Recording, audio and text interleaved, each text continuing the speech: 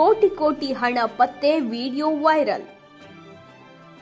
ರಾಜಸ್ಥಾನದ ಅಜೀರ್ ಜಿಲ್ಲೆಯ ಅನಸಾಗರ್ ಸರೋವರದಲ್ಲಿ ಎರಡು ಸಾವಿರ ಮುಖಬೆಲೆಯ ನೋಟಿನ ಕಂತೆಗಳೇ ಪತ್ತೆಯಾಗಿರುವ ವಿಡಿಯೋ ವೈರಲ್ ಆಗಿದೆ. ಕೋಟಿ ಕೋಟಿ ರೂಪಾಯಿ ಹಣವನ್ನ ಪೊಲೀಸರು ಮೇಲೆತ್ತಿದ್ದಾರೆ. ಈ ನೋಟಿನ ಕಟ್ಟುಗಳನ್ನು ಪಾಲಿಥಿನ್ ಚೀಲಗಳಲ್ಲಿ ಹಾಕಿ ಸರೋವರಕ್ಕೆ ಎಸೆಯಲಾಗಿದೆ. ಸುಮಾರು ಮೂವತ್ತಕ್ಕೂ ಹೆಚ್ಚು ಬಂಡಲ್ ವಶಕ್ಕೆ ಪಡೆದುಕೊಳ್ಳಲಾಗಿದೆ. ಹೆಚ್ಚಿನ ತನಿಖೆಗೋಸ್ಕರ ಈಗಾಗಲೇ ಬ್ಯಾಂಕಿಂಗ್ ತಜ್ಞರ ಬಳಿ ಕಳುಹಿಸಿಕೊಡಲಾಗಿದೆ. ಇಷ್ಟೊಂದು ಹಣ ಲಭ್ಯವಾಗಿರುವ ಕಾರಣ ಪೊಲೀಸ್ ಇಲಾಖೆ ಕಂಗಾಲಾಗಿದೆ.